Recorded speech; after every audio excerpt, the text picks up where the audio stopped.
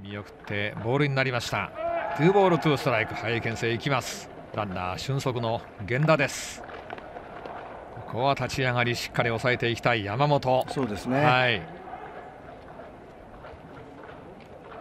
まあ、山本もね、まあ、若干あボール自体はあまだこう定まってないですよね、はい。少し、えー高いような気はしますね。えー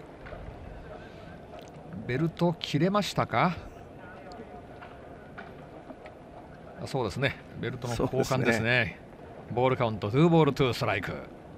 次は森に対しては投球8球目です。だいぶ余るんじゃないですか？いや確かに。自分のベルトではないかも分かりませんねこれ。ひょっとすると。長いベルトをはい、借りましたか？いや大丈夫のようですね。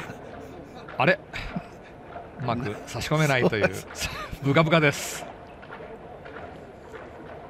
これ解説に困りますね。これは困りますね、はい。ベルトを巻く解説ありませんからね、はい。そうですね。